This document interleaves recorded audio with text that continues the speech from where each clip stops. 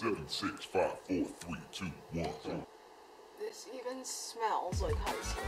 Hi, Annie here, and as you can see from the title of the video, this video is about the song Wannabe. It has been 20 years since it hit the scene, 20 years. I can't possibly imagine, I couldn't have imagined that as, you know, when it came out, that 20 years later, um, it would have had the kind of, that one, I, that 20 years was not as long as I thought it was, because let's start with that. 20 years has not been as long as I thought, but at the same time, how amazing is it that 20 years later, here I am, and the song still means so much to me. And I actually haven't heard it in a little while, so I'm going to listen to it now and then uh, come right back.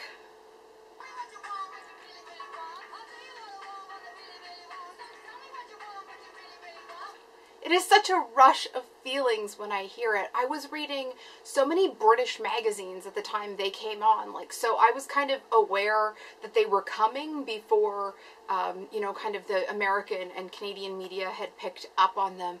I, I had a job and I, I saved part of my money and pretty much, like, I think probably about 70% of what was left uh, went for British magazines and magazines from the UK. So like Sugar, J17, Bliss, all those, and a little later on Minx, which is another story. But I love those magazines, and I, you know, you could feel uh, this coming in them that everybody was excited about them, that was writing about them, and I'm sure, you know, PR and paid and all this. But I remember that seeming like the longest lead up to one the single coming out, and then the album actually being available to purchase here, I th- I think that for me they meant so much because there was nothing like I liked other music that was out there. I listened.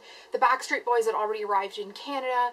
Um, there was lots of other stuff I was listening to. I loved Boyz II Men. I listened to a little bit of uh, Nirvana and um, Pearl Jam. I had the you know the albums and stuff, but I wasn't. I didn't really connect and resonate with me that way. It wasn't something I turned to all the time. The same with like the Red Hot Chili Peppers. I liked some of their stuff, but it you know it didn't. It wasn't me. It didn't connect with me. Uh, and when this started coming, it just felt like everything I was feeling. Like when you saw them interviewed and in the magazines, they were talking about, you know, girl power and the power of friendship and like raising, you know, other women up and raising yourself up. And it does, didn't matter what you looked like. It just, you know, you didn't have to fit the mold you, as long as you were you know, kind of good or had this kind of drive to go forward. And that hugely resonated uh, with me. And that wannabe coming out in July at that point, I think I, you know, I by the time the music video arrived, I was already very like aware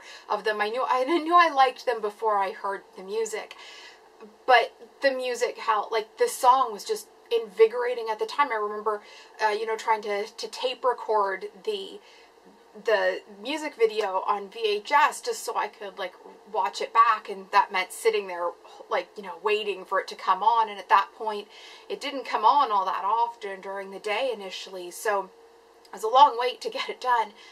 But I just remember it was it just felt like alive to me. Everything just started feeling crisper and more possible uh, you know with this kind of groundswell that was coming with them and this summer was like I won't say it was the best summer of my youth because that certainly uh, did come a bit later, but it was certainly an anticipatory um, kind of summer and then fall. I remember going back to school in the fall and Wannabe, and I think Say You'll Be There had maybe already hit the airwaves um, as a single, maybe by the time the album came out, it definitely had. And I remember I didn't know, I knew at one point the album had come up in store, but I didn't know when it was coming into Canada. And nobody at, like, um, it was Music World that I was going to then knew either. They didn't seem to know. And they just, like, they'd look at me like I was crazy when I came in asking for this album, like, every week.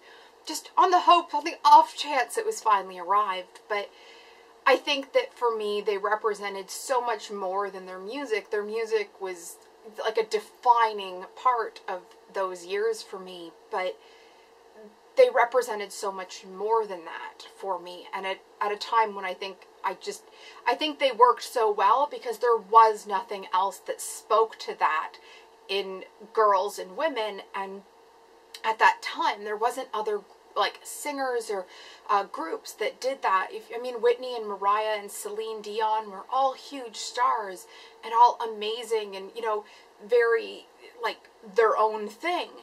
But they didn't speak to me. They seem much more like adults and which is fine. I mean, the you know the Spice Girls seemed like adults as well, just more the adult that I want to be in some ways, if that makes sense. The the fact that they just seemed to grab life by the balls and just run with it, and they didn't care what other people thought.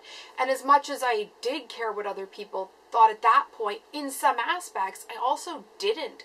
And so for me, that just like it spoke to me on such a deep level and it was so great to see that like out there and something that you know felt all of a sudden like not a misfit for feeling like that or you know having those thoughts or those ambitions to just be able to do what the boys do or and it didn't matter if you liked pink or sparkles which you know got ruined around the, the, the millennium by other people but for a, a brief period of time but it just it felt really empowering and that's something that I can't express. And I think even compared to people who were a little bit younger than me when they came on the scene at least here in North America I don't know. From the UK I mean I know a little bit about what their music scene was. I was certainly listening to Oasis and Blur and the Proclaimers and all of that going forward. But at least here in North America there was nothing else like it. There was no kind of you know um, there was nothing there that spoke to that in women, girls, and just in general. And I think that that's, you know, there was Mariah and uh, Whitney and Celine Dion and Toni Braxton were all around, but they, you know, were a different kind of breed. And although I, I think that what they do is important and amazing, and you know, their voices set them apart as it should. I also feel like people like Adele, who it does turn out um, loves the Spice Girls, would never have been able to have the career she's had in that way. Like she couldn't have had kind of the pers- the kind of personality she's had if it hadn't have been for the Spice Girls, if it hadn't have made that like somewhat more acceptable to be that. Like because it just felt like the the divas at that point like there was a very specific type of person you were expected to be if you had that kind of voice and I feel like even though the Spice Girls didn't have those that kind of voice, they didn't sing that kind of music, they blew the doors off of things for so many women for in entertainment and other places. They just they gave you uh, permission essentially to be that to to to say it, you know, just to say it. And if you thought it was a a good if you would have you know, said it with a group of girls, like to not be ashamed of being smart or being flat chested or big chested or whatever it was, whatever your thing was that you were spending time trying to like hide from the world in a way because it, you know, you had to shave your edges off essentially. Um, it, it just gave way to that. It gave way to more wearing, you know, what you were comfortable in and of course you weren't necessarily doing it for guys attention just to, to wear it if you liked it and kind of you know everybody else could bugger off. And i think that was just so amazing to me. It was just such an amazing feeling to feel like that uh, mattered. And i think again like people that are a little bit younger maybe didn't feel because they don't remember the before part it doesn't the Spice Girls they may still have loved, maybe they love for slightly different reasons. They run for love for completely the fun music. Where I feel like people uh, my age and a little bit older, when I see them talk about the Spice Girls, they talk about this feeling of being able to like just do stuff that they they brought something different to a landscape that didn't have that, and they they made you feel like you could do it too. Not what they were doing, but whatever it was you wanted to do. And I feel like that was that way from the very start, like that message of um, like strong and girl power and friendship and like lifting our like other friends up rather than spending your focus on guys. Like work on your school, work on whatever it was that you wanted in life, and the other stuff would fall into place. But you had to be true to who you were first. And anyway, so I would love to hear from any other women, especially that were, you know, fans of the Spice Girls, not fans of Spice Girls, my age, younger, whatever. And if they meant a lot to you, I'd love to hear that. Or, you know, if they were just there but in the background or you know, whatever it is, I'd love to hear your thoughts uh, below. Please subscribe if you're new here. I put a new video every Wednesday, usually about movie and TV related stuff with a little bit of lifestyle and, you know, personal stuff and also a little tiny bit of crafting from time to time. And uh, give this video a like if you enjoyed it, and I'll see you soon. Bye.